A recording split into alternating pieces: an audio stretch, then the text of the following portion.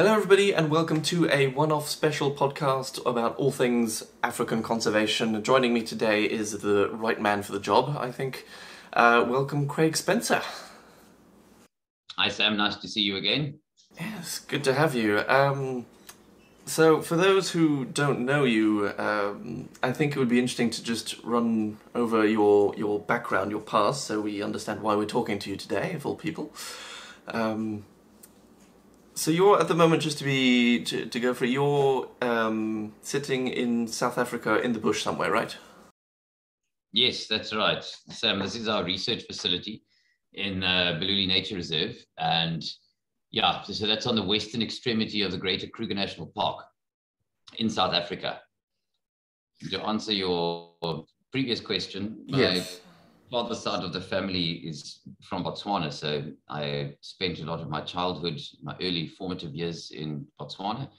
And then we moved down to South Africa, where everybody was conscripted into the army in those days. If you remember, there was the national conscription. And I sustained some nerve damage in my neck, which left me unsuitable to be. to be a soldier and um, pursued a, a career in conservation went to university in Cape Town and then um, moved my way up to master's level in primatology and anthropology. And for my sins, I started out in the marine conservation environment, ironically. And we had a small militarized unit there that was responsible for uh, anti-poaching work in the nearshore and inshore environments. And after 11 years down there, I moved up to where I am now. That was in 2006.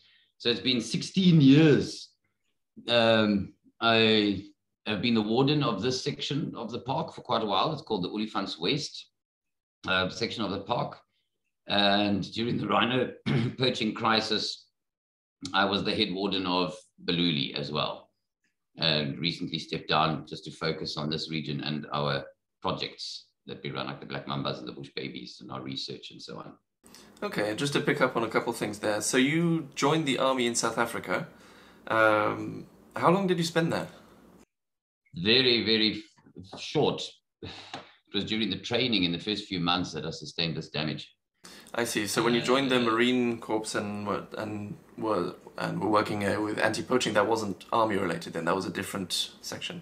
That was later. That was a that was actually a project that was initiated by the uh, Ministry of Safety and Security and Environmental Affairs and Forestry in those days. All these names have changed now. Ministries have changed and amalgamated or whatever you call it. And um, yeah, I sort of applied to get back into the game, which it felt fulfilling. It, you know, you want to sink your teeth into something as a conservationist. You want to have a tangible result for your input.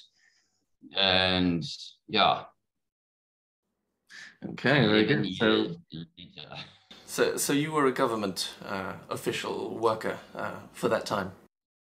That's right. Okay, and then you set up uh, an NGO where you are now near Kruger. Uh, so that's a scientific organization, correct? Yes. When when I came up here, um, I've, I've kind of grown a little bit tired of of the action and the um, living by the gun and you know being on call every five minutes and so on and so on. As glamorous as it might sound, it gets it weighs a little bit thin when you start approaching your forties. And um, I came up here to pursue academia and particularly work with elephants, gathering information and, and contributing to decision making and policy on elephant management. Um, we set up Transfrontier Africa as an NGO, uh, you know, to funnel money and and uh, generate the research interest, collaborate with universities, in other institutions. Okay, I see. All right, and then more recently, um, you started the Black Mambas program. Yeah. So you know, although we started as a a research and monitoring institution for ecological and biological work, the rhinos started dropping in about 2010, and by 2012, uh, you know, it was a pandemic. They were dropping like flies, and um, we thought, you know, you can't persist on the landscape. And a lot of people approached me and said, but, you know, this is what you did. You've got to get back involved and la, la, la. So we did. Um, and Transfrontier Africa then changed its memorandum of incorporation to include wildlife security but we said, you know, we need a different set of tools in our toolbox.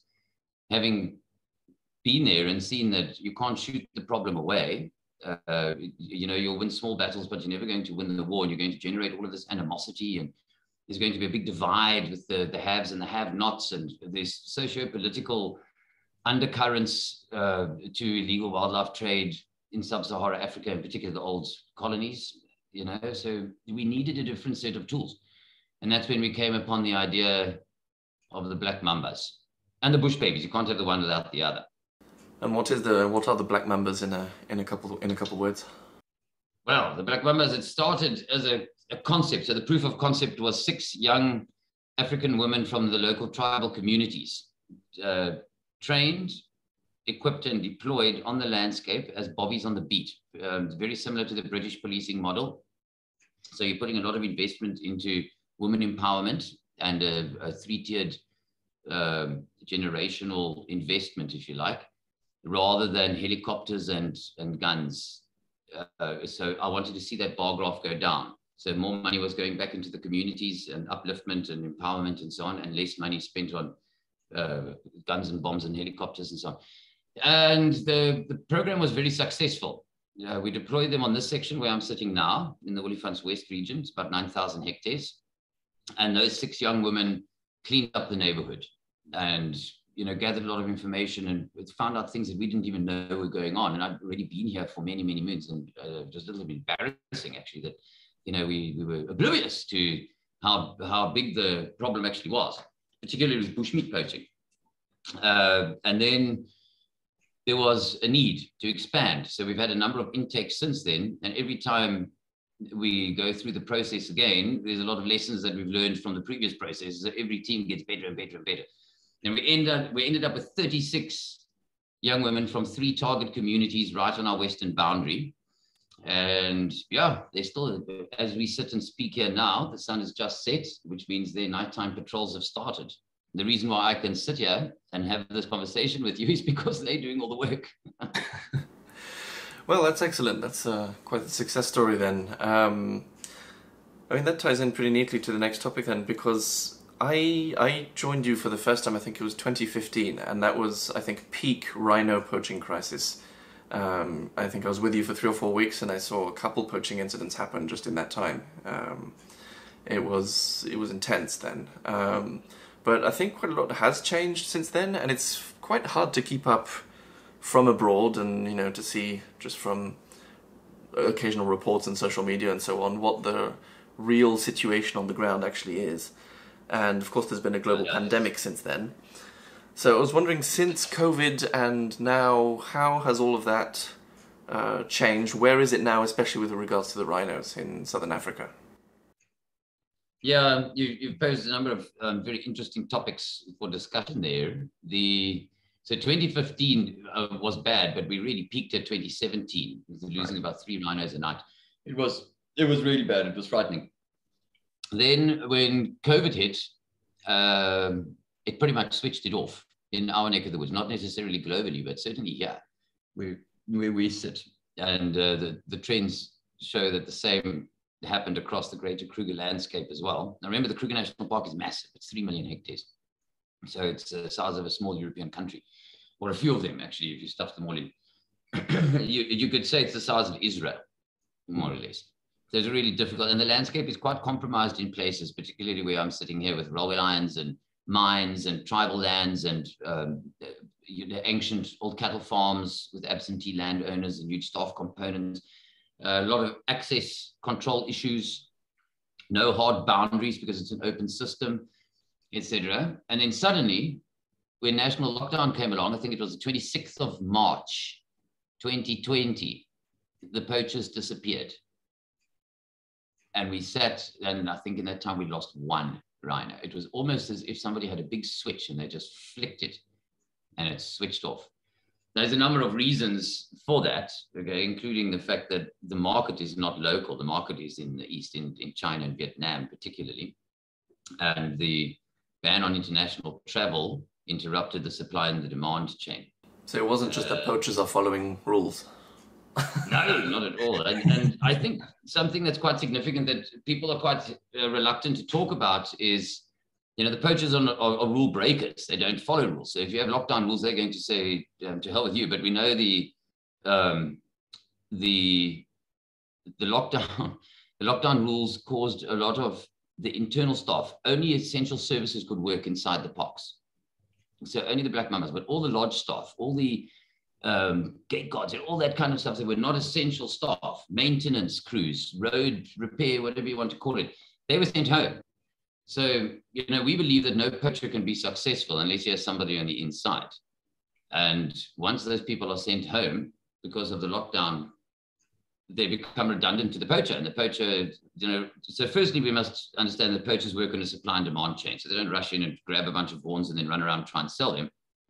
There is a supply and demand chain. So they'll go in because they, they've been told, hey, I need a couple of horns or whatever.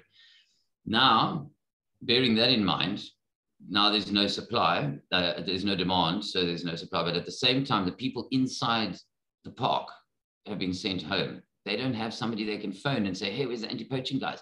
Can you let me slip in through the gate and I'll buy a permit as a tourist or whatever? You know, you're a, a chef working at a lodge. Can you help me smuggle the weapons in? The building projects all stopped, all these external building contractors and what have you. So in other words, the landscape was left vacant you know, double-edged sword because a lot of the time we relied on the eyes and the ears, particularly from the lodges. The lodges have been really very, very valuable to us in reporting things, reporting strange lights or gunshots or whatever it might be. And we were really worried. We thought, oh my goodness, now, you know, how am I supposed to cover this entire landscape with this handful of people? And if you think 36 is a lot of anti-poaching people, you've got daytime and nighttime patrols. They have to work in teams of two, half are off, half are on. So you're really dividing it by two and then dividing it by two again and then you've got to have um, somebody sitting in the ops room on a rotational basis. There's another two gone. You've got to have another two at the schools, you know, so on and so on. So eventually that 36 translates down to four or five teams of two that are active on this vast landscape. And our information network was cut off because the people were all sent home. But it played into our hands because the same result for the poachers. Their information network was also cut off. Uh, that's a controversial thing that people are, are not um, talking about, but it needs to be it needs to be mentioned that we can't just say that the uh, international travel ban resulted in the uh, the stopping of the rhino poaching. And I'll tell you why I say that. The poachers would still have stockpiled the horn. And we have the evidence to suggest that the big hauls that have been confiscated now during lockdown and subsequent to lockdown, once the borders opened again, have been massive horn, uh, hauls of horn that had been stockpiled. They just couldn't move them. So I believe the poaching would still have persisted at a, at a level if they had information coming from the landscape to assist them. That's interesting. So it really actually did confirm that theory that you need someone inside to make it work. Like there needs to be a whole network operating in and out and internationally to get because because presumably most poachers, if I'm right, are somewhat local. They just get mandated in a sense from um, from a, a, an organization outside to go in and do that, and then they have their contacts presumably within then the reserve or the space wherever it is, and then they can go yeah. in and, and and you know kill a rhino or something. And a lot of the time, the um, the the poachers that are doing the work at night actually have a legitimate job in the day. So you know they just hang up their uniform after work, put on their balaclava and whatever, and come in and do dirty work. So we mustn't fool ourselves. Not everybody in the conservation arena is here because they want to save wildlife. You know, it's the same in any institution. You can say the same in any institution. It is a very noble pursuit, and, uh, and I'm, I'm very proud to be part of it. But I'm also not embarrassed I'm embarrassed, but I'm not afraid to admit that there are rotten apples amongst us. You, you mentioned you'd been uh, running some operations to confiscate some of their hauls, and you've discovered some things from that. So is that what you're what you've been doing these last year or two? What is is it uh, running different operations more locally now, or? So yeah, we wanted to try and find out where the rhino poachers gone. They, they're not going to sit back and relax for two years that's the thing, the interesting thing about the pandemic is that there was no prediction model as to how long it was going to last. So they couldn't plan, they couldn't scheme. neither could we, neither could a business, a basic business, couldn't say, oh, we're only going to hang in there for three months and then it'll all be over, you know? And who would have thought that it would persist for two long years? So in that time, the poachers would have to have used their skill set uh, to supplement their income, you know, to carry on regardless. And when we put our feelers out there, the information that we got uh, was that they had gone into things that could be locally sold, and that included copper. So copper theft became a huge issue. Uh, power lines, transformers on poles, you know, so uh, the pipes, fittings in people's houses. So the, the, copper thievery in this neck of the woods became a huge problem and really influenced the infrastructure quite a bit. And there were also cases of um, child snatching, which is a terrible thing to say, but uh, in the very, very rural communities, people were complaining that their kids were going missing and they were either being sold or utilized in traditional medicine. Wow. That's a reality in Africa. People don't like to talk about it, but it is a thing. Um, and then pangolin confiscation suddenly shot up through the roof suddenly after 16 years of managing this organization on this landscape, and pangolins have always been the most trafficked animal in my time. Why but is that? Suddenly, it, it, say again. Why is that? What's what's the special thing about a pangolin? I think there's a um, there's a local market, there's a local consumption of pangolin scales uh, in African traditional medicine. A and B, there's also a huge Chinese population living inside the borders of South Africa and Botswana and Zimbabwe and so on and so on. So suddenly we started picking up a lot of pangolins and we had to change our entire focus and get involved with that as well. What does the Chinese population like in pangolins? Is it also something like the rhino horn? Or? Yeah, they utilize the scales more than anything else. And a live pangolin carries a lot more value than a dead pangolin. So you find them in the trade alive, but the scales are, the value is in the scales and it's ground down and it's used as, as um, a cure all for all kinds of things. Yeah. Ironically, it's pretty much the same stuff that a rhino horn is made out of. You know, it's just keratin fiber. It's the irony of it all. And, and even bigger irony, if you saw the media hoo ha about um, COVID potentially originating from the consumption of pangolins. And then suddenly pangolins became a potential cure for what the pangolins might have started in the first place.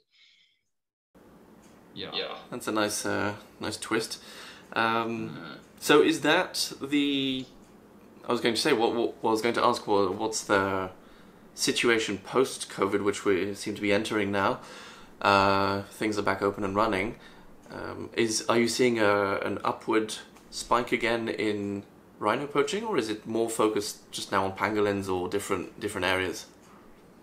No, certain parts of the, you know, once the parks opened again, the gates open to tourism and the, the borders open to tourism, there was unfortunately uh, an increase in poaching. It hasn't reached anywhere near the levels that it was uh, pre-COVID, but it's certainly getting there. And there's certain areas that are hit harder. There's one national park in South Africa that gets hit by rhino poachers, and that's the Kruger.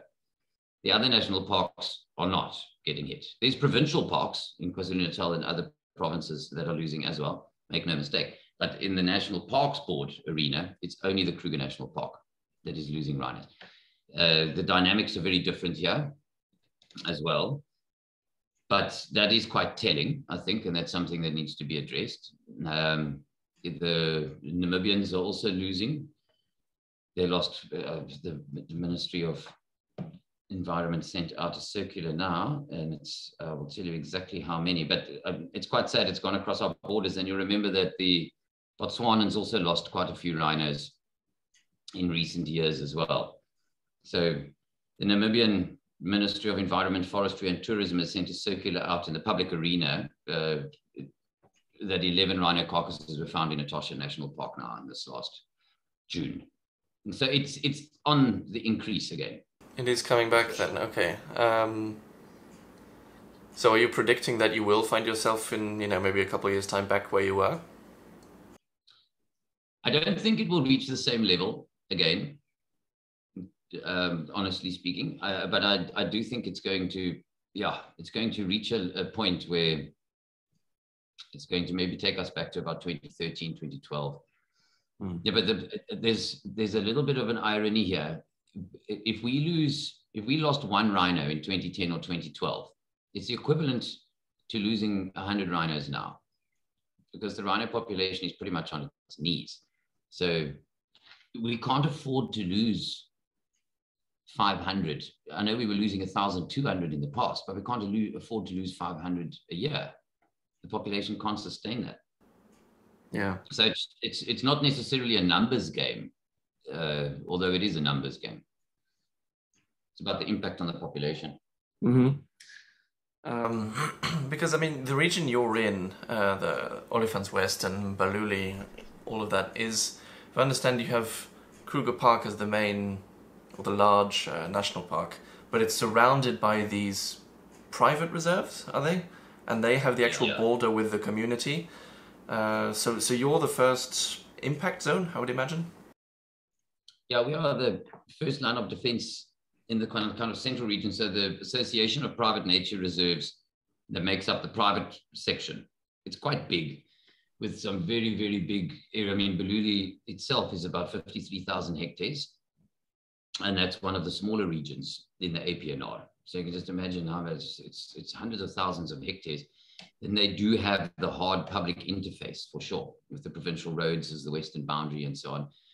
Um, but the Kruger Park itself also borders onto some um, very big communal areas in the south and in the extreme north as well. But you know, with the the Black Rhino Range expansion program that we're involved with and so on, that's all here. That's all in the the Balule and the APNR. Um, this this is the first line of defense for these things. But remember, the threat is not necessarily coming from the West, um, from our communities. The threat is also coming from Mozambique, our neighbors. So the communities in Mozambique are, are not afraid to walk 30 or 40 kilometers a night or even more to enter the park and then walk back again with the rhino horn. Well, presumably the value of the horn has not decreased in any sense. No, no, there is um, evidence to suggest that it went down from its 65,000 US dollars per kilogram down to 25 to 35,000 US dollars. There's been a lot of international intervention. And, you know, through the partnerships that have been developed uh, with the Royal Foundation and Interpol and so on, they're taking it very seriously. And it's very encouraging to see uh, the Malaysian government and the Chinese government is on there participating and they're assisting. There's, and this is where we're going to win this thing. We can only keep our fingers in the dikes. We can only hold the floodwaters at bay here. No, but you know we can't do it forever. Um, we need the international community to catch up. We need politics to play its role. We need international treaties. We need bans on imports, and we need it to be enforced. How much is how, how noticeable is it if a country like even the US or European countries put up bans uh, for you know the import of ivory or other uh, you know animal commodities uh, to come in? How how much of an impact does that have for you on the ground? Yeah, it's a interesting question because you often think that those are the soft targets. You know, Geppetto in his Schloss in Germany that has the old family practice of carving ivory um, and it's it's almost a little bit sad that that ancient practice, because it's passed down through generations, is going to be lost because of the ivory ban. But having said that, and be that all as it may, when elephants were being poached at their peak in my time, it was 96 a day. 96 elephants a day were being lost to poachers for their ivory. And that's very recent statistics as well. And you can look it up. So Iain Douglas-Hamilton, uh, with Save the Elephants.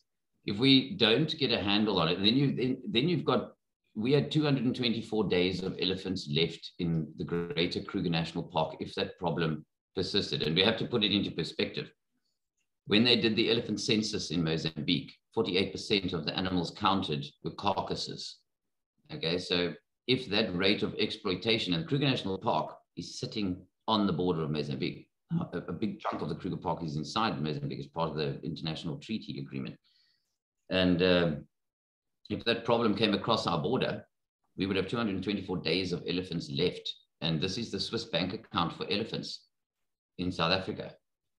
there's the huge Kalahari deserts separating us from Botswana, you know, and Zimbabwe has got a nice healthy population and so on. But if we if we want to use this as a drawing card for tourism and so on, imagine we lost our elephants to poachers. And if we can't get a handle on the rhinos, then we are definitely going to lose them. And then the poachers are not going to go back to planting cabbages and, and corn. They're going to find the next most valuable species, as has been demonstrated with the pangolins now. So, you know, for the sake of the elephants and everything else, we have to get a handle on the uh, on the rhinos. Now, interestingly enough, when globally countries, including China, agreed to enforce the uh, the ban on the import of illegal ivory into their countries, we witnessed a hiccup in the rhino poaching because I think it's all related. It's a, it's it can be seen as a rare mineral. Uh, you know, the, the the export to consumer countries, the consumer nations. So I think the the players in the elephant anti-poaching arena, particularly in East Africa, and the likes of Sir Iain Douglas-Hamilton that, that lobbies very successfully um, at IUCN level and what have you. The impact that they've had on reducing elephant poaching and these bans that have been put in place internationally and enforcing these bans. US Fisheries and Wildlife have been fantastic as well. Those have had huge knock-on effects for things like rhinoceros. And we, we, I don't have sufficient data to demonstrate this, but I did have a chat with Sir Iain Douglas-Hamilton about this, and the correlation is uncanny. When you saw a massive drop in elephant poaching, it was because of these bans that were put in place. And because the Chinese government and the various other governments had started taking it seriously and enforcing it. Okay. And at the same time, we saw the rhino poaching drop. And then the very next day, or the very in that same quarter of that year, the pandemic hit. So unfortunately, the pandemic has skewed the data set. Um, you know, but it would have been very interesting, albeit to the detriment of the animals we're trying to save. It would have been very interesting to see if that ban on ivory had actually impacted on the rhinos to the hmm. degree mm. that it did. But there's, there's, there's, there's great interventions. We can't see the one in isolation from the other. I think that's what I'm trying to say here. And these bans, these international bans, although it looks like we're targeting soft targets, it's it's you've got to take your gloves off.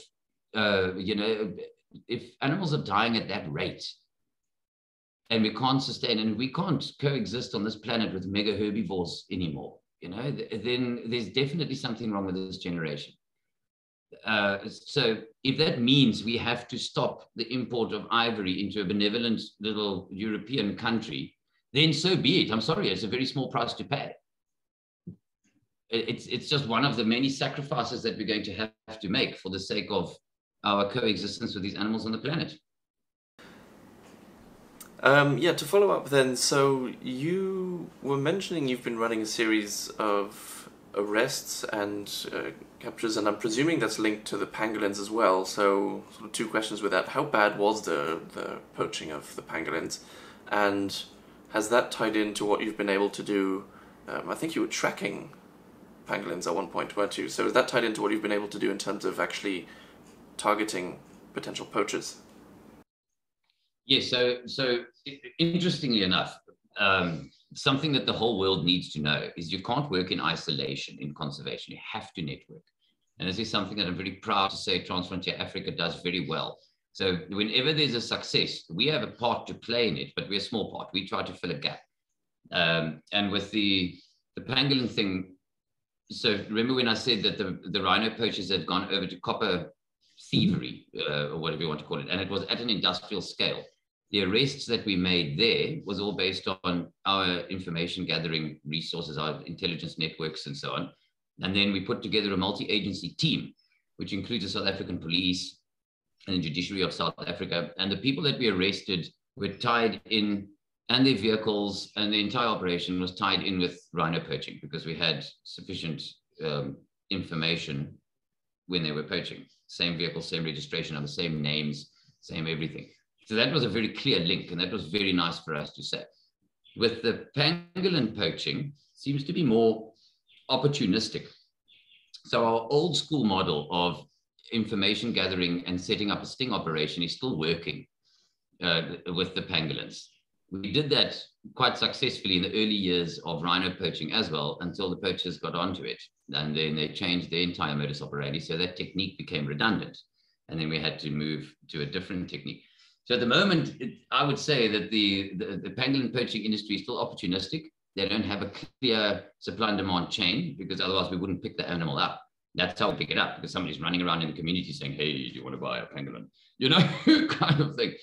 Um, so it's a, uh, but it is quite uncanny that it's um, suddenly become so prevalent in the area. When mm. we when we work with pangolins, we're working through the national organization uh, that's established in South Africa, but it's called the African Pangolin Working Group, and we just one small cog in the wheel there. And once the pangolin is, has been taken out of the trade, it goes through quite a long process of rehabilitation and fixing up. And there's a whole bunch of role players involved, specialists uh, involved with that process. And we set aside a piece of landscape and a team of mambas to look after these pangolins. If they will entrust them to us, then we'll put tracking devices on them and we will use them to gather information. At the same time, we can check up on their health and the information that we gathered from them should potentially help uh, other pangolins that are coming out of the trade. Because the world knows very little about how these mammals work and you know what's the best practice for these things.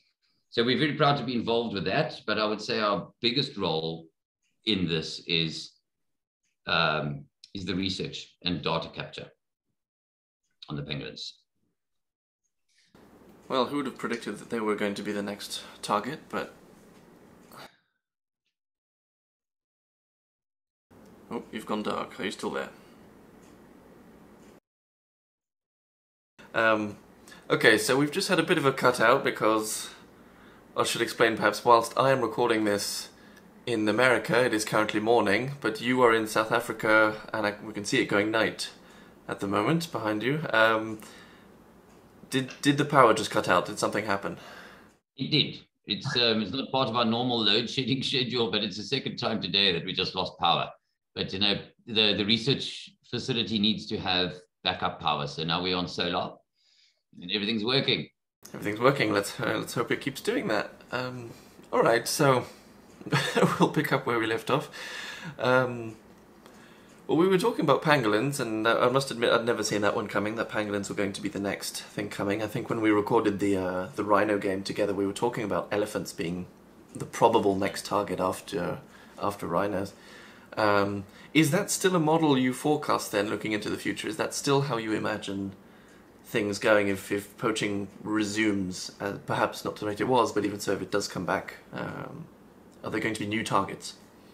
Yeah, we have to we have to prepare ourselves for the inevitability that uh, we might not win the the rhino crisis, the rhino war, whatever you want to call it. I don't like to call it war, but yeah, if we if we lose that, um, the elephants and the lions, I think, will certainly be because they're high value species. They um, carry a lot of value on the same uh, consumer markets that the rhino horn has. And if the supply and demand chain is already in place for these things to move across the borders and the same uh, corrupt officials and things are involved, then stands to reason that, uh, that lions will be poisoned at waterholes or on carcasses for their bones. And there's a whole lot of things that come into play here. The, the pressure that's been placed on the, the legal lion bone industry in South Africa, where the, the canned lion farms are being closed down.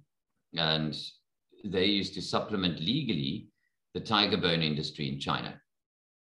Tigers' population started increasing globally as well, and in the range states anyway, as a consequence of this, or that's one of the spin offs.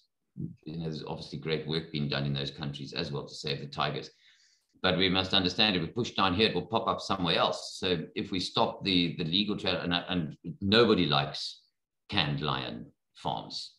Nobody likes lion breeding facilities except the lion breeders because I think they're making a lot of money from it. You know, but as a conservationist, uh, you could never possibly condone a practice like this. But we have to be prepared for the fact that there will be a lot of pressure placed on wild lions as a result of that intervention. And it's the same if we get on top of the rhinos. you know, there's not enough pangolins to go around. It's not easy to find a pangolin. And there's, uh, you know, we've created a false economy, or we haven't. We've allowed a false economy to manifest itself in our communities. There is a social and a moral decay that is set in after 12 years of rhino poaching. Uh, so it's very unreasonable of us to expect that we can just switch that off. It's not. It's going to pop up somewhere else. And if I just look at the high value animals, it's elephants and it's lions. They next. What's what's the status of lions now? How endangered are they? Or do you know something about their numbers or something?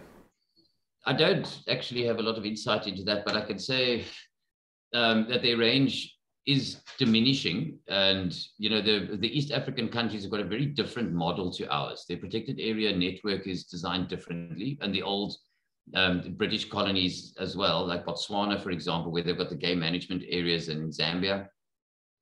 Uh, so those populations are pretty much intact. It's the human wildlife conflict issues that they have to mitigate there and have to manage there. But in a case like ours, where we've got such a hard public interface, human wildlife conflict might account for one or two losses a year but a poisoned waterhole or a poisoned carcass is going to devastate an entire pride in one feeding or drinking event. This is what we, and you know, if the lion population in the Greater Kruger National Park is estimated at about two and a half thousand uh, at the top end of the scale, it's an apex predator. So you can just imagine the numbers are quite small at the top, you know, compared to the uh, the producers and the uh, the consumers at the bottom of the pyramid. What what resilience does that population have before we start seeing massive parts of the landscape vacant of apex predators? And then the hyenas get in and they build up huge, big hyena clans that will keep lions out for a long period of time, even if they do start to recover. So the consequences are vast. And we've seen it happen in Africa, in other places, in Mozambique and so on, where lions have been lost. Uh, they will have to be reintroduced physically. We don't want to go there there's not there's not a lot of space on a on a landscape. Two thousand hectares, whatever uh, you want to say is a game farm or a game reserve or something in the African savannah. You can't sustain an elephant and a lion on that property unless you're flinging meat over the fence at it all the time, hmm. you know, and, and bales of hay for the elephants. Three million hectares, and we're at saturation point with our lions. We, you know, the, the landscape is saturated. So it's a very, very fragile species an apex predator is a super super fragile thing. If if if somebody starts hitting those in the illegal wildlife trade, wow, man, it's it, it's of serious concern. So was it some There's relief a, then to have a to have a shutdown, a global shutdown? Was that was that a bit of a uh, respite for you? Now, e- economically, it was an absolute disaster for us. You know, particularly as an NGO that relied so heavily on on donor funding and on our government subsidy, that all came to a grinding halt. However, it was a double-edged sword because it did uh, open a window of opportunity, uh, you know, for everything to just sit back and take a breath and to start to recover. So for sure, and long, you know, one would have to say the, the, the human element is what we really need to get a handle on. We've put so much effort into running around after these animals and after poachers, but I want to put something into perspective, which again is quite controversial. So much of our resources are going into stopping a rhino poacher with a gun, sneaking into a park in the middle of the night and shooting a rhino or two.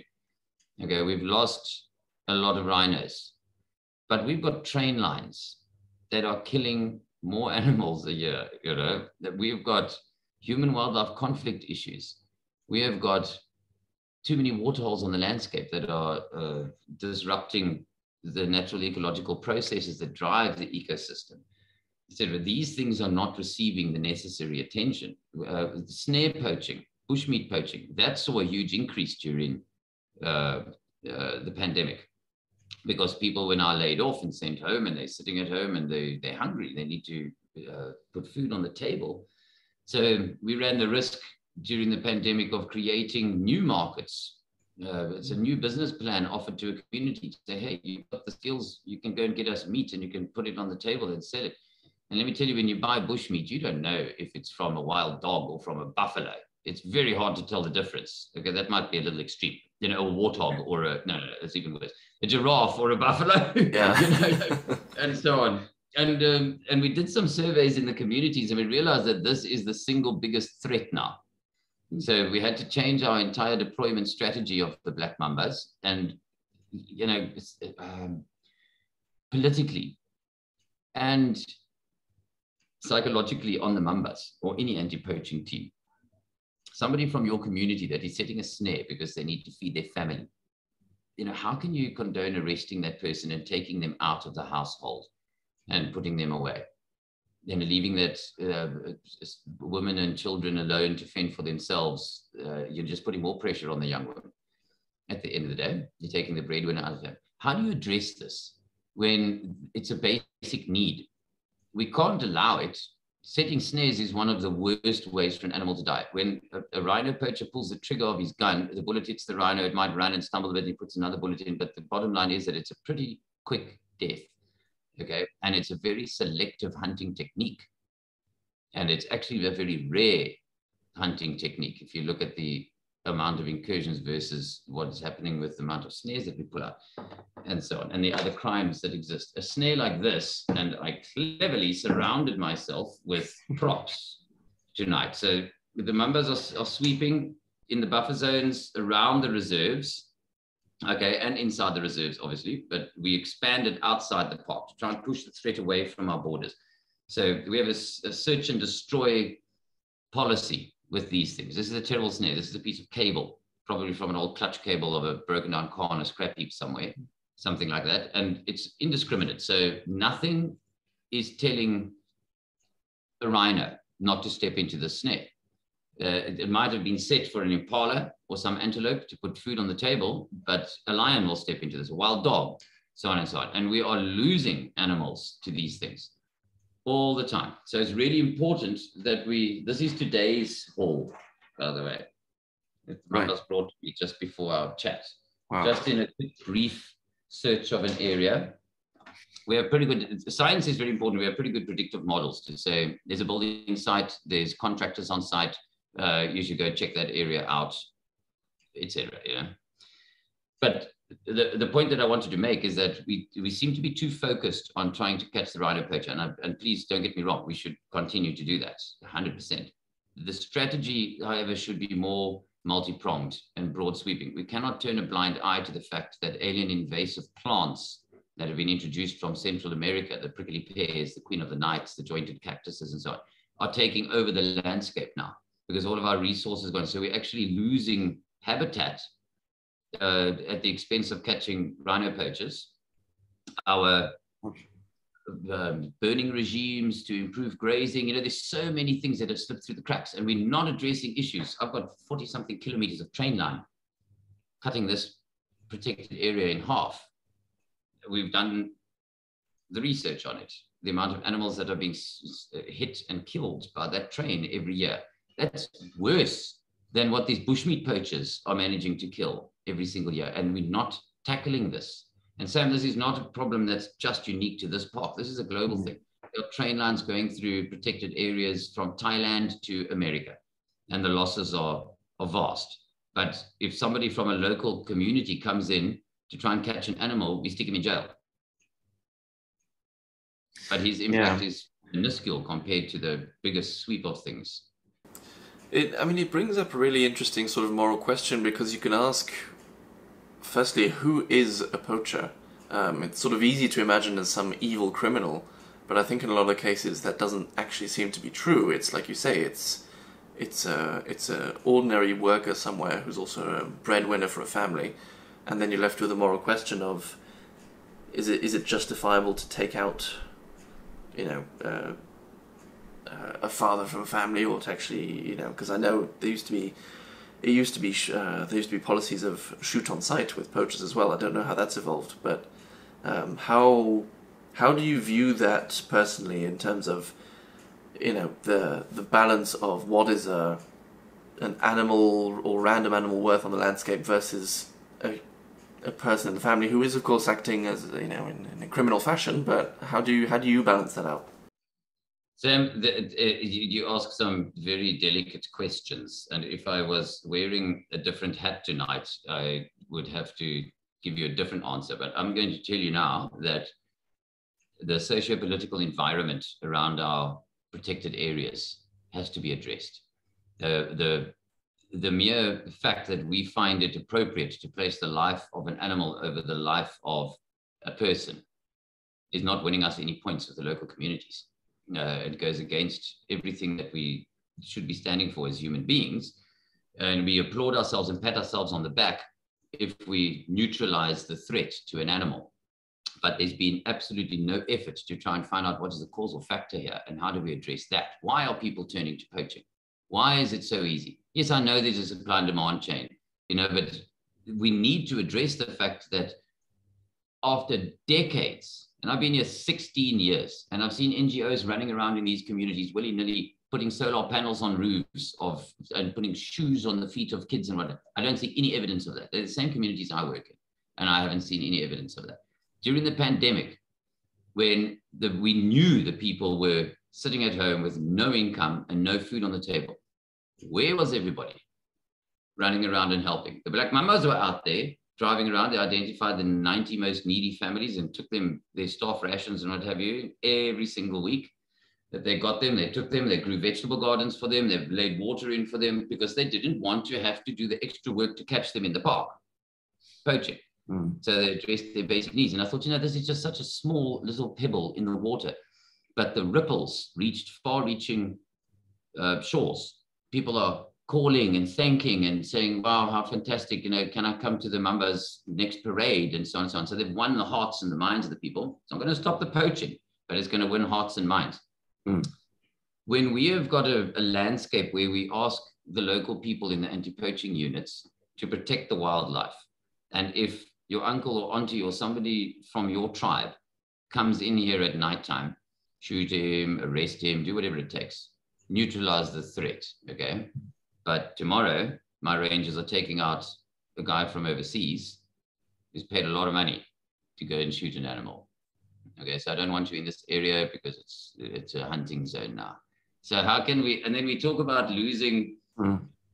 you know, a handful of rhinos and elephants,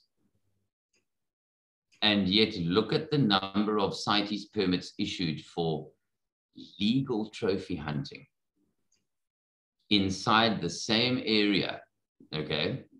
And now you and and and the people that you're using to conduct those hunts to work the carcass to prepare uh, to pour tea and gin and tonics for those people to prepare the trophies to service and drive the vehicles to be your gun bearer. And they're coming from exactly the same community where i'm recruiting my black mambas.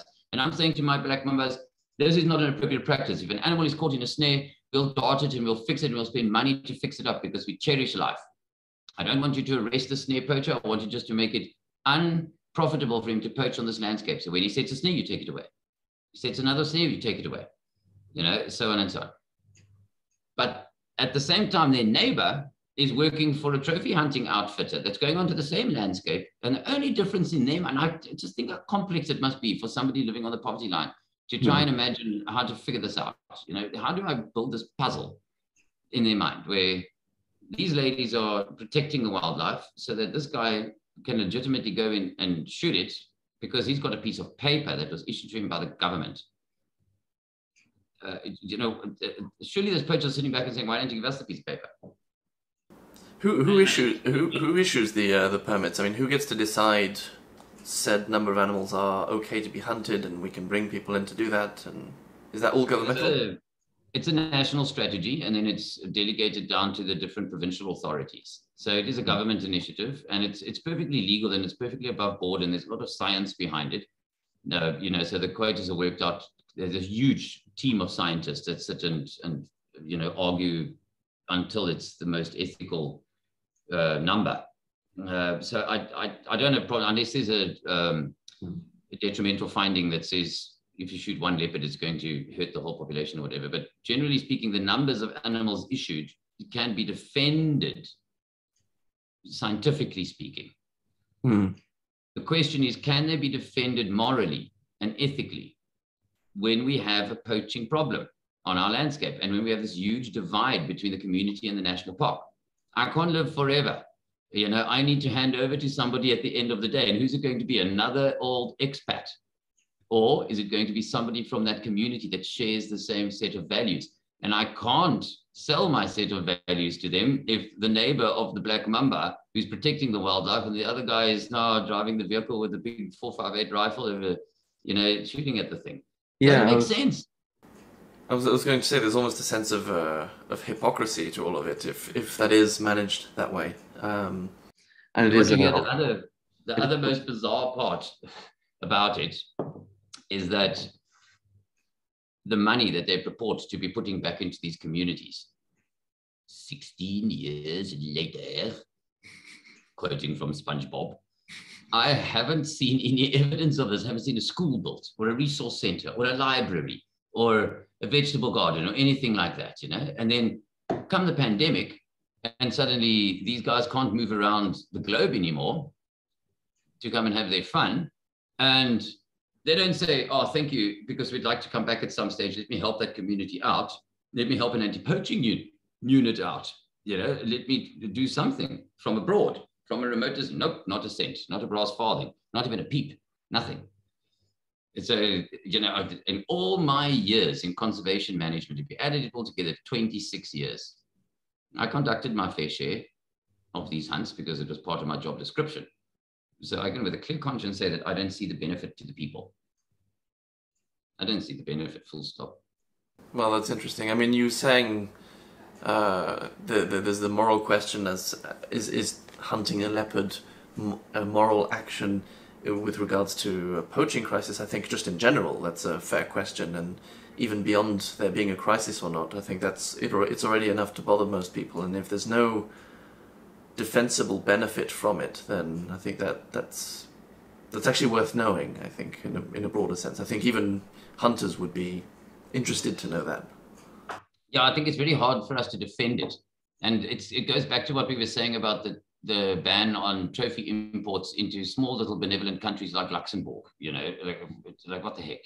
But when we are sitting with a crisis on a species, whether it's an elephant or a rhino, whatever it might be, you have to take your gloves off in the boxing ring and say, unfortunately, it's an all or nothing approach mm-hmm. to this.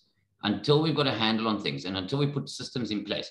Now we're dealing with a third world country that has made an Olympic gold medal event out of corruption.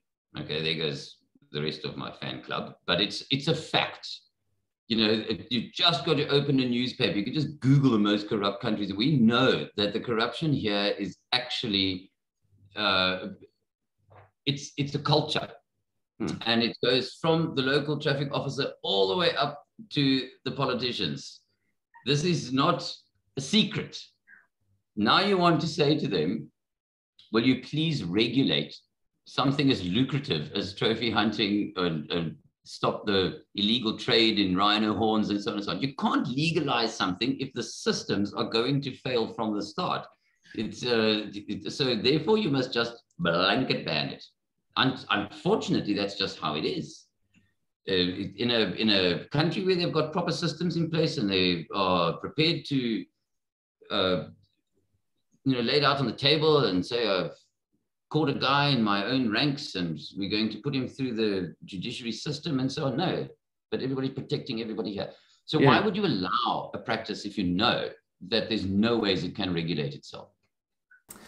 That is actually one of the topics I wanted to get to because there is a common argument being made, um, and I see it a lot across social media and elsewhere, but that if only we legalized uh, rhino poaching or the trade of rhino, of rhino horn and so on, then it could be controlled, then it could be manufactured, then there could be a clear established market that, that would be well managed, uh, regulated, etc., and it wouldn't be left to the hands of uh, you know the, the criminals and the poachers.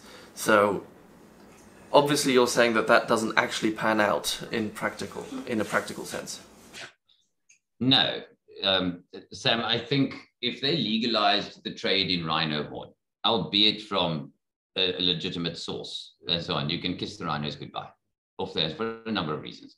I will start with the, the economic model behind it. Rhino horn is a very expensive commodity, even at, at its lowest price, at 25,000 US dollars a kilogram. It's a very, very expensive commodity. So a very small sector of the consumer nations can afford it. So let's say 5% of China can afford rhino horn in its current state. And it's also bear in mind that it's syndicated, okay? Now, you're going to reduce the price of 3D printed horns or um, stockpiled horns. I don't know if that dog is in agreement with me or whether it's protesting. There's something to say, but that's it's very cute. I'm being Mine is sleeping on the couch. Mine is wondering why I talk to myself all the time because it doesn't see another person sitting here. Looking very strange. But let's say we, we halve that price uh, because of our amazing ability to flood the market with stockpiles and 3D printed horns and so on. So now 10% can afford it. There are 1.3 billion Chinese people on the planet. 10% of that population, there's not enough rhinos left in the world and they can't breed fast enough. So, no. So that's the first thing. The second thing is that wild rhino horn, and this needs to be tested, but normally in traditional medicine, uh, something that's from a wild environment that lived a dangerous life and confronted uh, lions or whatever, it carries more value than something that was farmed. Mm. All right. So you, are going to find that I think even the uh, the farms can't produce enough. We know that, but at the same time, the wild rhinos are not going to be saved because of it, because their horns are going to carry more value. Then we've got to ask ourselves morally and ethically is the domestication or agriculturalizing of a wild animal an appropriate thing? We've just gone through that with, with lions in breeding farms, and we've decided that it wasn't appropriate. Mm. Okay. Are we happy to say we're going to take a rhino and create an agricultural animal out of it? And look how that's worked out for all the other animals that we've agriculturalized in our lives. They're pretty much extinct in the wild in their original form. All right, so we're going to start manipulating their genetic material to grow bigger horns and faster horns, and you know, and we, we treat them like sheep now. So we just take them, shear their horn off, and wait for it to grow back and flock it, flog it off onto the market. So morally and ethically, no. I think the only people that are going to benefit from that are the rhino farmers. So they are going to be ones that are going to be pushing very hard for it. It's an economic model. It's not a conservation model by any stretch of the imagination, in my opinion. Once that rhino has gone to a breeding farm, it's no longer functional at an ecosystems level. It's fed by hand and blah, blah, blah. Now we talk about the stockpiles of rhinos because de- dehorning became a big deal uh, at just before the pandemic started. And everybody claims victory. Oh, look, the dehorning has saved the rhinos. Blah, blah, blah. We can't say that with a clear conscience because guess what? The pandemic came along, and uh, you know, so who knows, you know? But there's many questions about the dehorning. If you look at the national statistics of rhino horn stockpiles that have been confiscated at the Johannesburg International Airport alone, just take that one airport. It's been recently published in the in the local press. The amount of horns and stockpiles, they're all they're all from dehorning operations. Now, there's a great example of why we cannot be trusted in this country. We say we want to dehorn rhinos to help them and save them from poachers. I think the motive might be slightly different. I think the motive might be more about how much money I can make off them. And then when there's no legal trade, they're trying to smuggle them out. How else do you get your hands on those stockpiles and ship them off overseas? You know, it's rubbish. So no, in a, in a third world context where we know that we are rotten to the core at every level, from a chef in a lodge and I keep using that as an example because that's a real case, okay, mm. all the way up to potentially the the head of uh, some police unit or whatever could be involved. We don't know, and we don't have even the systems in place to figure that out. Yeah. So we can't, we cannot. We, I'm South African. We cannot be trusted. I see. So, so, so they unearthed a huge stockpile then in Johannesburg Airport. Yeah, yeah. And who was behind that? Several, several of them, and they've all coincided. Uh, I mean, it's anecdotal at this stage, but the the numbers and so on. It needs to be tested, and luckily they're all microchipped and so on, Hmm. and they all have the numbers on them, so it would be easy to follow up. Now we need to work out why suddenly is there this huge flood of these. You know, normally somebody would try and get one or two horns across the border mm-hmm. in their luggage or whatever. Now we're finding 26 horns, 14 horns. Lala. When you look at the pictures, you can clearly see that it's been part of a dehorning operation. Some of them have been dehorned more than once as well. And so on. Now, why is that suddenly coinciding with this massive dehorning effort hmm. across the countryside? So yeah, there's still, as you say, something rotten on the inside, which is It's, it's a question that needs to be answered. I, I think I can I can give you the statistics, but the the reality is that it's too suspicious to say I'm going to quickly open this table of events because we track these things. It's not secret information that I'm giving you because it's freely available in the public arena. April 2022, 12 pieces of rhino horn seized. December 2021, I'm going back down through the history, six pieces of rhino horn. December 2021, five pieces. July 32, 32 pieces. Okay. And so it goes on and on 18 pieces, 17 pieces, 16 pieces, 41 pieces, wow. all, all heading through various other countries to China. And because of the fantastic networks that have been put in place, these have been seized at the airport. And if you add all of those rhino horns up, and it's pieces, these are dehorned rhinos, man. They're little stumps and things. Yeah. So we just we're just perpetuating a market, Sam. Uh, you know, and it's the same with uh, Geppetto in his little schloss outside Frankfurt. You know, he's been carving ivory his entire life, and he can get access to prehistoric ivory from the the tundra. Uh, but he's now denied the privilege of even buying that. So, if we're going to stop those soft targets, then I'm sorry, we cannot uh, condone the legal trade from a farmer. No, of course. Um, okay, well, that's interesting. I mean, there's. Let's see, we only have a few minutes left, um, but there's still loads we could talk to. I still wanted to get into more about hunting and other issues that you face, but um, I think that's already a good.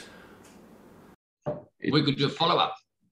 I was going to suggest maybe we could do that if if people are interested. If we get a bit of positive feedback, we can um, do at least a second one of these and carry on the conversation because I think there's a lot more to get into.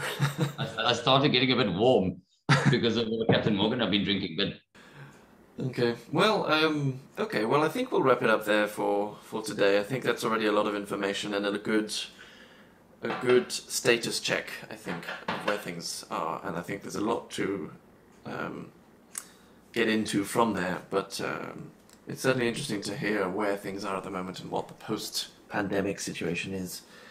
And, no, thanks, Sam. If, if you wanted to, you know, if people ask questions, you can invite them to ask questions or have an alternative opinion, and then I'll be like that Ben Shapiro guy and tell them how fucking stupid they are and that they. That's a good idea, actually. I think if we do a follow up, it would be interesting. I think we'll try and post this video already um, in a number of different places uh, on on YouTube and probably the a couple Facebook pages. And if you want to send it out to newsletters and things, that would be great. I think I think people would be interested in all of this. But uh, if if people do want to write in or comment in various places, and we'll try and pick up on the questions for next time, yeah. and we can roll from that, and maybe we can do one or two more of these, and uh, Yeah. and address all of that. That would be really interesting. Absolutely. There we go. Um, yeah, thanks, Craig, and thanks everyone who watched. And Thank you, Sam. cheers. Cheers.